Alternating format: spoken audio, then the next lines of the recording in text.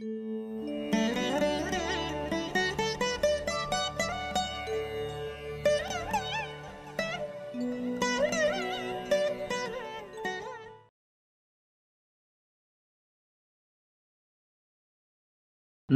அனைவருக்கும் வணக்கம். எல்லோரும் நன்றாக இருப்பீர்கள். வேதை நட்சத்திரங்கள் ஒன்றுக்கு ஒன்று பகையாக வரும்போது பலன்கள் தடுக்கப்படும். எதிரியாக வருமென்றால் வேதை நட்சத்திரங்களின் அதாவது எதிரியாக வருமென்றால் வேதை நட்சத்திரங்களின் அதிபதிகள் நண்பராக வரும்போது எப்படி பலன் எடுப்பது? வேதை நட்சத்திரங்களை வைத்து பலன் எடுப்பதா? கிரகங்களின் நட்பு பகையை வைத்து பலன் எடுப்பதா?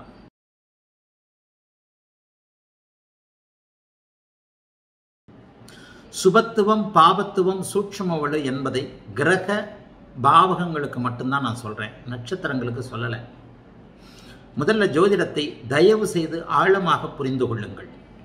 நாள் நட்சத்திரம் திதி யோகம் கரணம் என்கின்ற ஐந்து விஷயங்களுக்குள்ள ஜாதக பலன் இல்லை. இந்த ஐந்து விஷயங்களும் உலக பொதுவான விஷயங்கள் முகூர்த்த விஷயங்கள் முகூர்த்த அமைப்புகளுக்காக குறிக்கப்பட்டவை.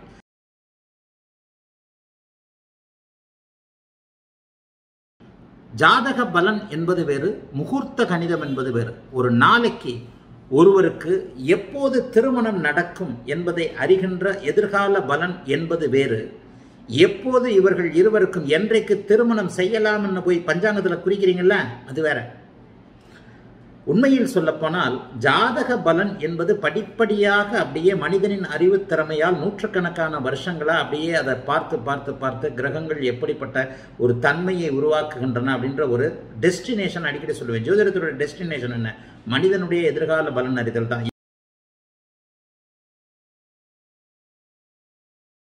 நாள் நட்சத்திரம் திதி யோகம் கரணம் என்கின்ற ஐந்து அங்கங்கள் கொண்ட பஞ்சாங்கம் ஒரு மனிதனின் முகூர்த்த அமைப்பை காலக்கணிதத்தை சொல்லுகின்றதே தவிர இந்த வருஷம் எப்படி இருக்கணும் பொதுவாக ஆற்காடு பஞ்சாங்கத்தில் அந்த பஞ்சாங்கத்தில் பொதுவாக சொல்கிறாங்களே அதுக்கு தான் பஞ்சாங்கம். இந்த பஞ்சாங்கத்தை தாண்டி நாள் நட்சத்திரம் கிழமையெல்லாம் தேவைதான்.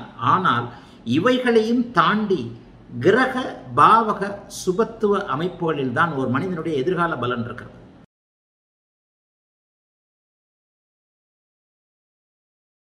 நட்சத்திரங்கள் என்பவை தனிமனித ஜாதகத்திற்கு நீங்கள் எப்படி பொருத்தி பார்க்க வேண்டும்னா அது சாரத்தின் அடிப்படையில். நீங்கள் பிறந்த நட்சத்திரத்தின் அடிப்படையில் மகரிஷி பகாரேஸ்வரர் பராசருடைய மிகப்பெரிய மிக உன்னதமான தசாபக்தி வருடங்கள் ஆரம்பிக்கின்றன. மிக அற்புதமான கான்செப்ட் உலகத்தின் மிகப்பெரிய பிரம்ம ரகசியம். நூற்றி இருபது வருடங்களாக ம மனிதனுடைய ஆயுளை பிரித்து ஆறு எட்டு பன்னிரெண்டு போன்ற விஷயங்களை பறிச்சு. மேஷலக்கணக்காரனா புதன் தசையா புதன் புக்தில அடிக்கலாம் நீங்கள் தூள் அடி. நான் சொல்றது அப்படியே தூள் பண்ணலாம். ஜாதகத்தை பிரித்து வச்சான் இந்தந்த வருஷங்களில். பா புதன் பா ஒரு மேஷ லக்னத்தில் பிறந்தவன் ஒரு விருச்சிக லக்னத்தில் பிறந்தவன். புதன் பாபத்துவமாக இருக்கிறார். ஒரு ரிஷப ராசியில் ஒரு ரிஷப லக்னத்தில் பிறந்தவன் குரு பாபத்துவமாக இருக்கிறார். ஒரு மிதுன லக்னத்தில் பிறந்தவன் செவ்வாய் பாபத்துவமாக இருக்கிறார். இந்த வருடத்துலேருந்து இந்த வருஷம் வரைக்கும் நீ சுத்தமாக அவுட்டியா நீ? ஆமான்வாங்க அதுதான் நான் சொல்லுகின்ற கிரக பாபத்துவ சுபத்துவ அமைப்பில் பன்னிரெண்டு லக்னங்களுக்கும் ஆகாத கிரகங்கள் அப்படின்னு போட்ட சில இதுதான்.